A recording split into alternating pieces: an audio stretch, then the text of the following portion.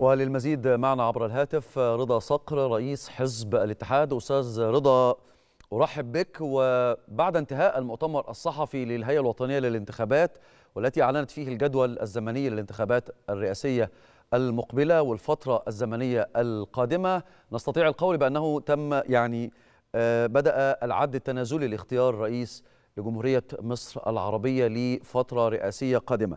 أقف عند كلمة رئيس الهيئة الوطنية للانتخابات المستشار وليد حمزة والتي أكد فيها بعيدا عن محددات الجدول الزمني فالأرقام والتواريخ واضحة وسيتم نشرها. ولكن تأكيد رئيس الهيئة على أن الهيئة تقف على مسافة واحدة من جميع المرشحين دعوته للمنظمات منظمات المجتمع المدني ووسائل الإعلام المختلفة محليا وعالميا لمتابعة سير العملية الانتخابية ودعوته بكل صدق وتابعناها في كلمته في نهايتها بكل صدق.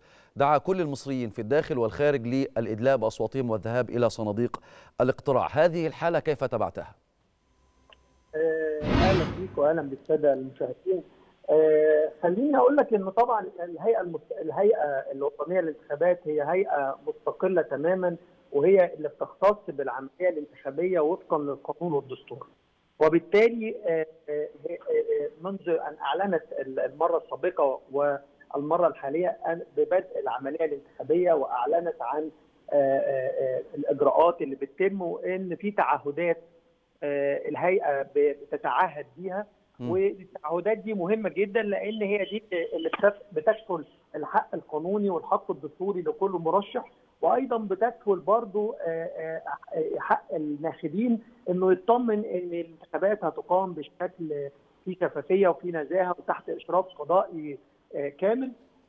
هم تعهدوا طبعا من قبل بان هم هيقفوا على مساحة واحدة من كل المرشحين وده حاجة مهمة جدا وإن في شفافية ونزاهة وفقا للمعايير القانونية الدولية وتحت إشراف قضائي كامل وأيضا إنه هيسمحوا لكل المرشحين إن يكون لهم مندوبين داخل اللجان ومندوبين في لجان الفرز. وهيسمحوا كمان بتعهدات يعني. وإن هيبقى في رقابة من المجتمع المدني سواء كان المحلي أو إقليمي أو دولي.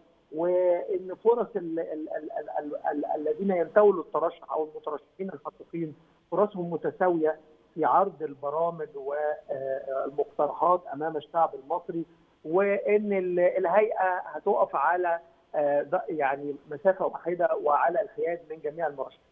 والنهاردة الإعلان كان عن المواعيد وعن الشروط والضوابط اللي يجب أن تتوافر في المرشحين. وده مش عايزين نخوض فيه زي ما حضرتك قلت لأن ده جدول هيعلن.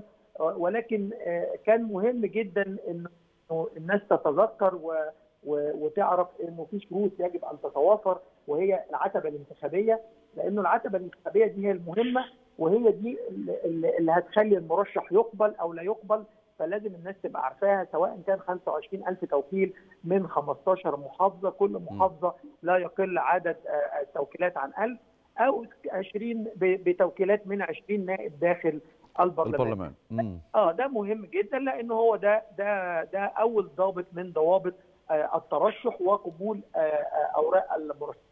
آه يعني هذه الخطوة هي من تحول المرشح المحتمل لمرشح لمر... لمرشح مرشح فعلي الأستاذ رضا صقر رئيس حزب الاتحاد شكرا جزيلا لك على هذه المداخلة.